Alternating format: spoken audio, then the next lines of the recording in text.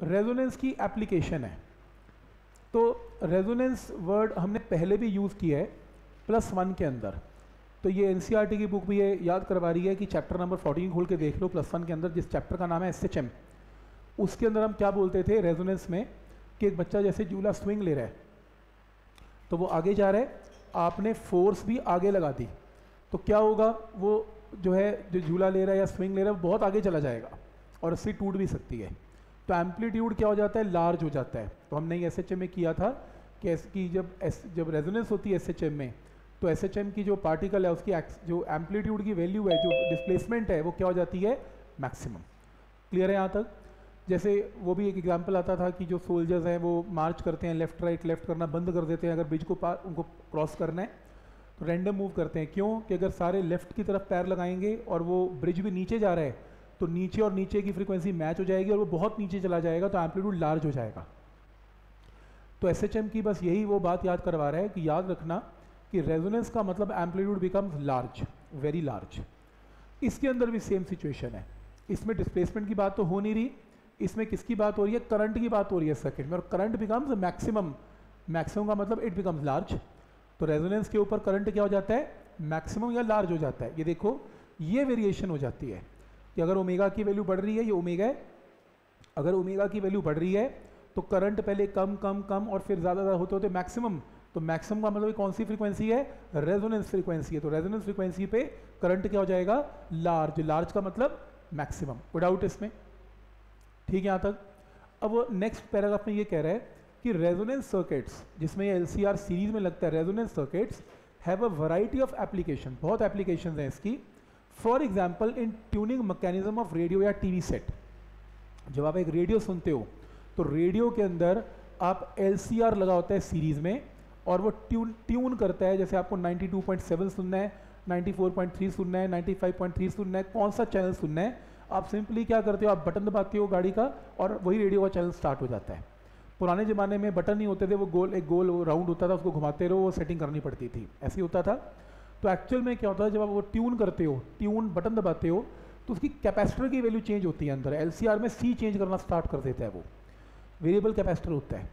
अब capacitor change होने का मतलब क्या है, इसको बाद में डिस्कस करूँगा। बस आप ये समझो कि एक्चुअल में क्या हो रहा है कि स्पेस के अंदर बहुत सारी वेव्स आ रही हैं। 92.7 वाले भी ट्रांसमिट कर रहे हैं 94.3 भी कर रहे हैं। ऐसे 10 किस्म के रेडियो चैनल्स जो हैं, वो ट्रांसमिट ट्रांसमिशन कर रहे हैं। और 10 किस्म के रेडियो चैनल ट्रांसमिट कर रहे हैं और रेडियो सेट के ऊपर क्या लगा हुआ है? एक रिसीवर या उसमें लगा हुआ है एंटीना जो कैच करे, करेगा सभी सिग्नल्स को। तो वो दस किस्म के सिग्नल्स को कैच करता है, पर आपको कौन सा गाना सुनना है? नाइन्टी टू पॉइंट सेवन ही सुनना है। आपने बटन दबा रखा है। तो ऑब्वियसली रेडियो सेट क्या करना चाहिए? उन दस वेव में से सिर्फ़ उसी वेव को आउटपुट की फॉर्म में पास करने देना चाहिए जिसको आपने बटन दबाया है। बाकी सब फ़िल्टर कर देना चाहिए। ऐसे ही करता है वो। कैसे डिसाइड करता है रेडियो सेट कि 92.7 का बटन दबाए और 92.7 का ही सॉन्ग अब बाहर जाएगा, बाकी सब उड़ा देगा वो एलसीआर के थ्रू कैसे? रेडियो सेट जब हम 92.7 दबाते हैं तो हम रेडियो को समझा रहे हैं कि अब तेरी फ्रीक्वेंसी 92.7 है। जो सोर्स ऑफ़ फ्रीक्वेंसी है एलसीआर में, वो 92.7 है। तो यानी कि वो उसकी रेजोनेंस फ्रीक्वेंसी मान ली जाती है। अब होता क्या है?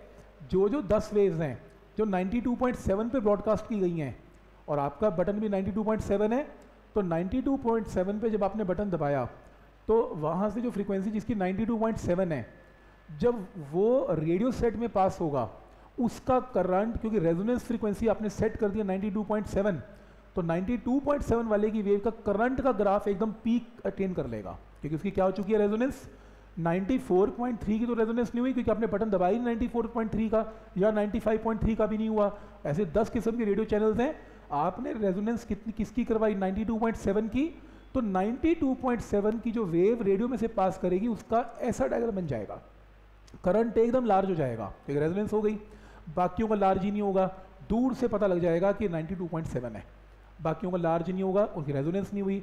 जिस वजह से बाकी अपने आप फ़िल्टर कर दिए जाते हैं और ये सिलेक्ट कर लिया जाता है। अब आपने बटन दबाया 94.3 का। जब आपने 94.3 दबाया तो अब आपने रेजोनेंस फ्रीक्वेंसी कितनी सेट की? 94.3 अब जब सिग्नल 94.3 का एंटर करेगा, उसका करंट लार्ज हो जाएगा और बाकियों की रेजोनेंस होगी नहीं, बाकियों का लार्ज होगा ही नहीं अपना फ़िल्टर हो जाएँगे और ये सिलेक्ट हो जाएगा। तो जो बटन दबाओगे, उसी की क्या हो जाएगी? रेजोनेंस हो जाएगी। पॉइंट समझ में आ रहे हैं यहाँ तक? ठीक है? तो ये टीवी या जो भी रेडियो चैनल्स हैं, उसके अंदर हम इसको यूज़ करते हैं। और मैं ये बता रहा जब आप बटन दबाते हो ना तो एक्चुअल में रेजोनेंस फ्रीक्वेंसी का फॉर्मूला क्या होता है? अभी हमने डिस्कस किया था, जो रेजोनेंस फ्रीक्वेंसी होती है न्यू वो होती है one by two by under root of L C आप चाहते हो ये 92.7 हो जाए, इसका बटन दबाया आपने तो आपकी रेजोनेंस फ्रीक्वेंसी 92.7 चाहते हो तो आप इसमें सी को चेंज कर देते हो। सी चेंज करते हो।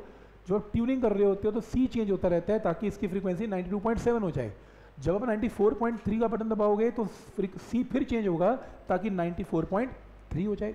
तो सिर्फ़ कैपेसिटेंस की वैल्यू को चेंज करके हम ऐसा कर सकते हैं। ठीक?